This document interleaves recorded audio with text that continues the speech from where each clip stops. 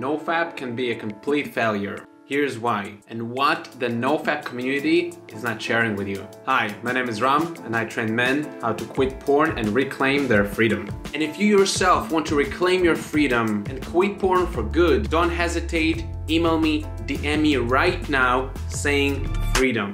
We are living in a world of stimulations. Stimulations that tap into our thinking, feeling, and willing process. Simply using the willpower to quit thinking about nudity, pornography, and sex will not solve the issue. It might help for some time, but after a while, especially after the 30 day period of nofap, the void that we created in our psyche will start to affect and cause us a relapse. What is this void? It's a void or a gap between desiring sex, in between transmuting or putting that desire, putting that energy into use alchemizing the sexual desire into productive, useful, vitalizing energy. For you, this void might feel like feeling a lack of sexual desire, feeling lazy, feeling bored, or as some people describe it, asexual. At this point, many people would even come to a conclusion that nofap is bad for you. It's destroying your sex life, destroying your sex drive, destroying your productivity and vitality.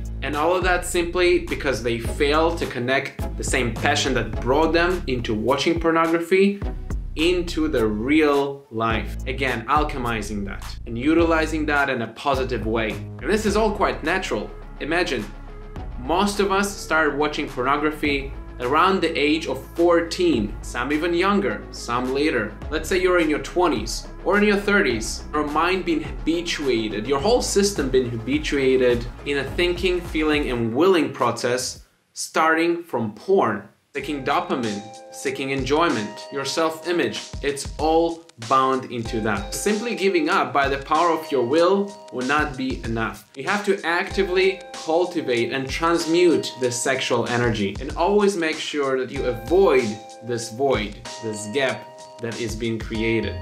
If you fail in paying special attention to this gap, to this void, it will simply devour you from within. And as I mentioned before, you might even think that NoFap is dangerous and is unhealthy for you and for everyone else. And in order to cultivate these high volumes of energy and sustain them within your body, utilize them in your finances, in your relationship, in your world, in the world you want to create, manifest in your life. They're ancient practices, ancient embodiment practices that are here for you. I'll be sharing more about them in future videos on this channel.